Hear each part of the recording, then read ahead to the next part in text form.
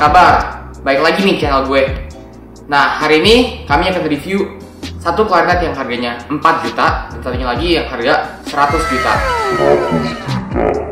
Nah, klarinetnya kayak apa sih? Ayo kita check it out guys.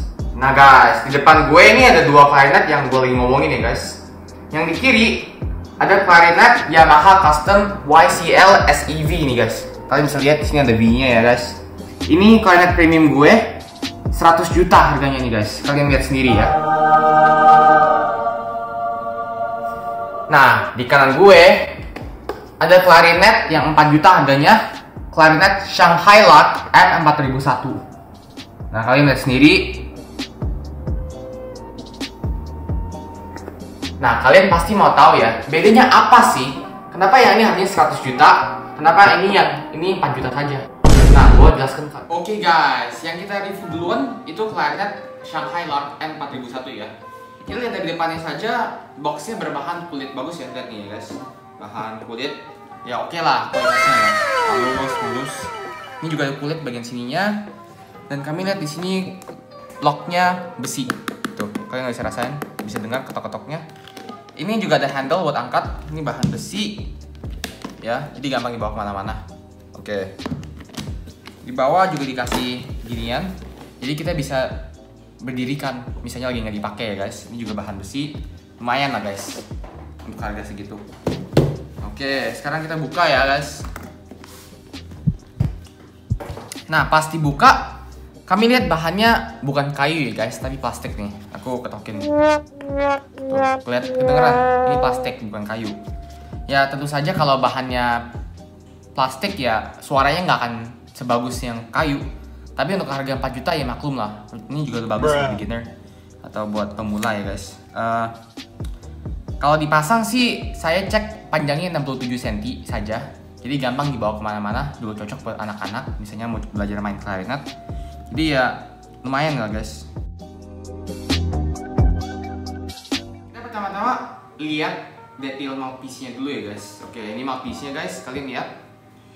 Nah mouthpiece-nya itu ada mouthpiece covernya. Ini mouthpiece cover. Ligature, ini ligature, jadi bisa ketatin kalau reednya mau taruh sini biar bisa ditiup. Sama ada mouthpiece-nya sendiri guys.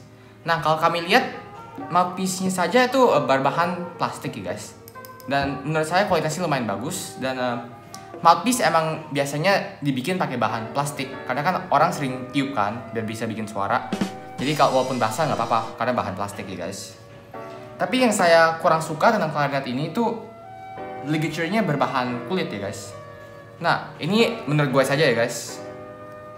Orang lain mungkin opininya beda-beda tapi menurut gue kalau ligature-nya merek sorry kalau ligature-nya bahan kulit itu um, dia nggak bisa terlalu ketat tutupin reednya jadi kalau kita tiup reednya nggak stabil jadi bisa goyang-goyang jadi akhirnya suaranya jadi nggak nggak halus gitu loh guys. Makanya gue kurang suka kalau reednya bahan kulit ya guys. Nah reed covernya sih plastik dan uh, pas ditutupin sih oke okay ya guys. Jadi ya udah so far mouthpiece lumayan sih guys ya. Untuk harga 4 juta maklum lah. Nah guys sekarang kita lihat barrelnya ya lebih dekat ya guys. Nih ini barrelnya kalian lihat sendiri dulu ya guys. Nah seperti yang terlihat di sini barrelnya juga berbahan plastik tapi sebenarnya ya guys kalau mau ngomongin serius ya guys bahan plastik bukan berarti jelek loh jadi um, ya kalau bahan plastik juga ada bagusnya juga misalnya lebih enteng, nah dan juga pasti lebih murah dan pasti juga nggak nggak nggak segampang rusak kayu ya guys. Nah masalahnya tuh kalau um, kalau kita main klarinet yang plastik ya guys, itu intonasinya nggak sebagus dan jelas dan yang sama yang kayu ya guys. Juga um, kalau kita main panggung, ya kelihatan bahannya plastik dan juga nggak semegah atau semewah yang kelihatannya klarinet kayu, itulah guys. Ya itu saja sih. Tapi ya menurut gua barrel klarinet ini sih oke okay ya guys so far. Ini kalian lihat sendiri. Sekarang kita mau cek klarinetnya punya upper sama lower tube-nya ya guys. Nah kami pertama cek upper tube-nya. Ini yang namanya upper tube ya guys. Jadi di bawah barrelnya uh, kami lihat ini berbahan besi. Bodinya berbahan plastik ya guys ya. Klarinetnya karena berbahan plastik ya guys. Kami lihat nih dengan jelas. Complete keysnya ini masih bagus. Oke. Sekarang kami cek lower tube nya ya guys. Ini lower tube. Bodinya juga plastik. Ini keysnya besi. Kalian lihat sendiri. Oke nah yang sekarang saya mau cek ya guys. Itu kalau keys ini dipencet apakah lubang-lubang yang angin ini lubang angin ini yang buat keluarin suara apakah ditutupnya kayak pas gitu ketat? Coba kita cek ya guys. Misalnya saya pencet yang ini. Nih saya pencet yang ini guys. Saya lihat saya pencet ini ini jadi ketutup kan? Nah tapi coba kalian perhatiin ya guys. Nih lihat. Lubangnya tutupnya nggak pas nggak rapet. Lihat ya guys tuh ayo pencet yang keras nih. Ini nggak ini nggak rapet masih ada masih ada lubang di sini ada space di sini. Jadi angin masih bisa pergi.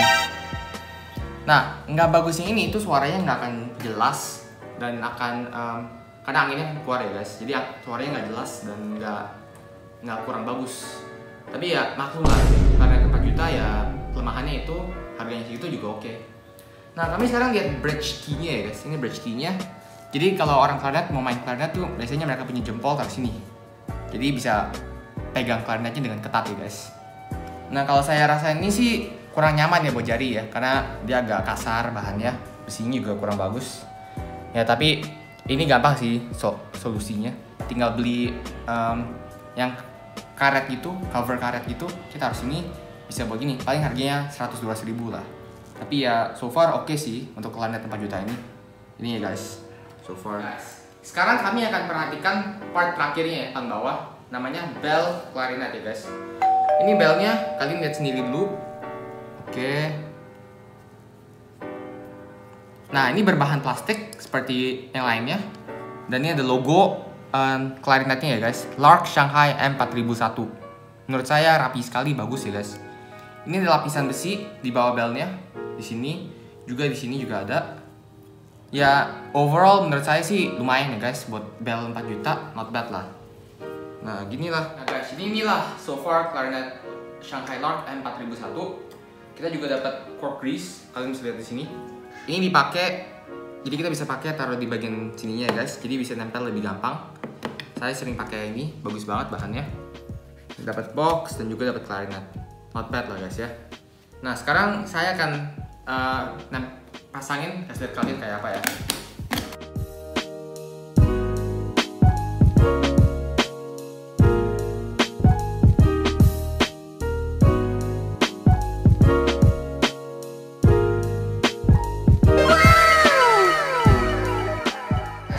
Review yang tunggu-tungguin nih guys. Clarinet 100 juta Yamaha Custom YCL SEV ya guys. Nah kami lihat dari depannya aja. Ya Ini boxnya bahan kayu ada lapisan kulit yang kualitas tinggi sekali. Hmm, hmm, halus banget. Di jari enak nih. Hmm. Kami lihat di sini besi. Enak juga halus. Kualitas tertinggi. Sekarang kita buka boxnya kayak apa yuk dalam kita buka pelan-pelan takut rusak. Oke dari dalam ya guys. Di sini bahannya velvet fabric velvet. Aduh bagus banget bahannya lembek empuk kayak kulitnya bayi. Hmm, enak disentuh nih guys. Nah kalian lihat nih. Wow. Tag Yamaha custom established in 1887 wow. Langsung kelihatan nih kalau beda sekali. Lihat packagingnya aja. Ini pakai hati bikinnya nih guys ya Yamaha cork grease soft. Bagus banget stikernya. Lihat nih. Cork grease aja packagingnya sampai kayak gini. Gila. Tuh di sini kami lihat sendiri. Lihat lihat di sini. Case made in Japan. Uh. Emang nih nggak bisa kalahin guys kami lihat dari mouthpiece-nya dulu ya guys. Nah ini dia. Mouthpiece Yamaha customnya ya guys. Lihat. Ini mouthpiece covernya ini ligature-nya oke okay. nah ini mouthpiece sendirinya ya guys kalian lihat sendiri nah mouthpiece-nya tentu saja berbahan plastik karena kan sering ditiup ya guys. Jadi kalau basah nggak apa-apa. Saya sering main pakai clarinet ini sebenarnya. Jadi saya taruh ini. Ini namanya cushion ya guys. Jadi tiupnya lebih gampang, lebih bisa gampang dikontrol juga. Ini ada lapisan kayu di sini.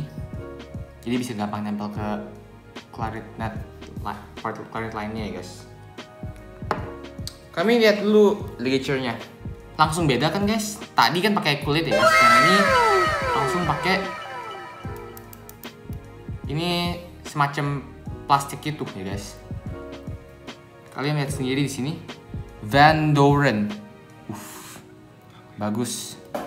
Nggak kelihatan sih, tapi ini tulisannya Van Doren ya guys. Ini tulisannya Paris, France. Sebenarnya ini bukan yang aslinya guys, tapi saya ganti biar lebih keren ya guys. Ya nggak apa-apa lah demi gaya dikit nggak apa-apa. Ini besi. Jadi pokoknya ini kalau masukin sini ketat sekali guys. Gripnya nggak mungkin gerak karena saking ketatnya guys ya. Jadi makanya lebih bagus nih.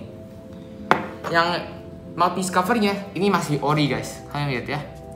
Ada emblem Yamaha-nya. Yamaha tuh logonya ada di sini Yamaha tuh bener-bener detail sekali kalau bikin barang. Kalian lihat saja ya. Di sini aja ditaruh bolong lihat kan? Jadi angin bisa masuk jadi ininya kualitasnya masih tinggi guys. Jadi saya benar-benar suka banget ini. Dari mouthpiece saja udah detail banget ya guys. Itulah mouthpiece nya sekarang kita lihat barrelnya ya guys. Oke. Inilah barrelnya ya guys. Kalian lihat sendiri dulu. Nih. Dari depan muter ini atas sama bawahnya ya guys nah kita lihat dari barrelnya ini bahan kayu. Ya saya nggak mau ketok-ketok ya karena ini harganya mahal banget beneran. Dan ini lapisan besi. Ini juga lapisan besi guys. Nih ini juga ada logo Yamaha nya di sini. Kalian kelihatan guys dari situ? Nih. Oke guys. Nah bagusnya apa sih guys? Kalau clarinet berbahan kayu kenapa harganya beda jauh sama plastik dan apakah worth it lah beli clarinet kayu nah kalau clarinet kayu itu suaranya ya guys itu lebih dalam lebih jelas dan lebih gampang dikontrol. Pokoknya setiap kali dengerin suara klarinet kayu guys, wah lembut sekali di kuping. Wow. Jadi ya menurut saya sih worth it banget ya. Juga tadi saya bilang kalau klarinet plastik bagusnya tuh di enteng ya guys. Nah enteng sih bagus, tapi kalau berat juga ada bagusnya. Nah kalau berat klarinet ya gripnya tuh lebih ketat, jadi nggak gampang gerak ya guys. Jadi makanya ya karet kayu tetap saja top lah guys dibanding plastik. Nah guys, sekarang kami akan lihat upper dan lower tube clarinetnya ya guys. Kami mulai dengan upper tube-nya. Nah, kalian lihat dari upper tube-nya aja ya guys. Kalian lihat ini ada V logonya ya, V. Nah, kalau ada logo V ini, kalian tahu nih, ini clarinet nggak main-main, beneran barang bagus. Makanya saya bangga sekali bisa punya clarinet ini, satu dari berapa puluh lah yang ada di Indonesia. Kalian lihat, saya muterin ya biar kalian bisa lihat kunci-kuncinya. Oke. Ini atas ini bawah. Oke. Nah kunci-kunci ini keysnya ya guys itu dibikin dari nickel dilapisin silver. Jadi gak gampang karatan. Juga kalau orang klarinet kayak saya mainin ya pegang ini. Gila halus banget. Beneran loh guys. Dan uh, ya suaranya juga pasti lebih jelas karena dia tutupnya kan rapat ya guys jadi pasti bagus lah nah sekarang kita akan liatin lower tube nya guys ini lower tube nya oke okay? lihat nih lower tube oke okay. oke okay. nah lower tube nya sama aja juga pakai um, nickel dilapisin silver Nih, kita tes ya guys. Tadi kan kita tes tutupin pencet keysnya, tutupin lubangnya ya guys. Sekarang kita coba pencet ya guys. Nih, saya pencet nih. Lihat ya. Rapat tutupnya, nggak ada space sama sekali.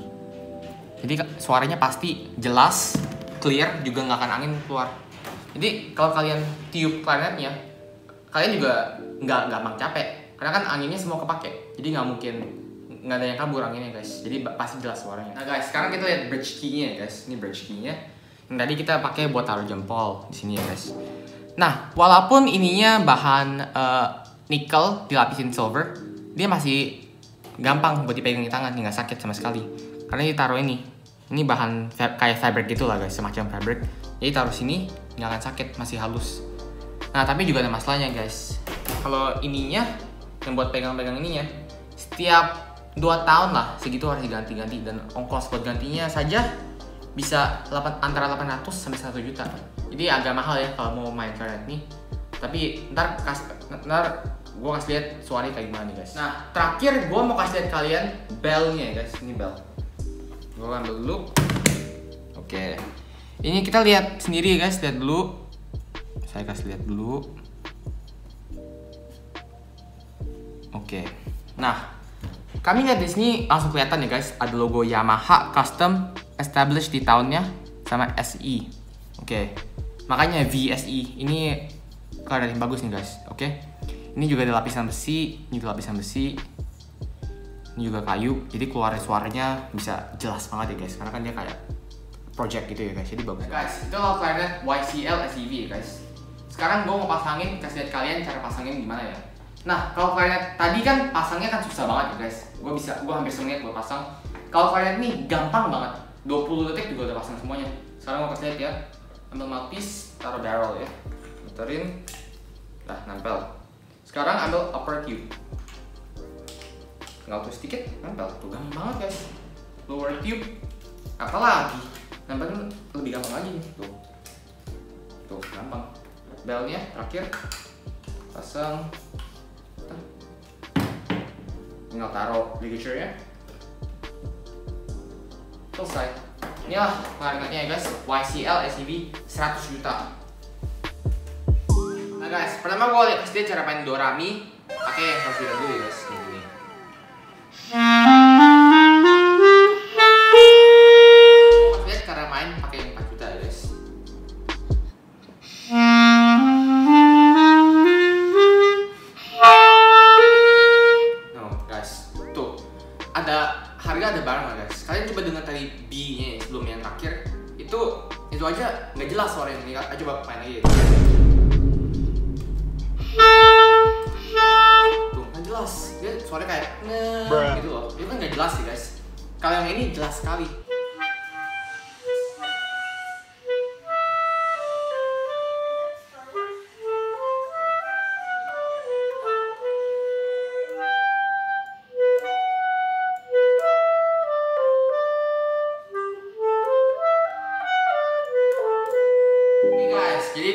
clarinet yang 100 juta dan yang 4 juta ya guys.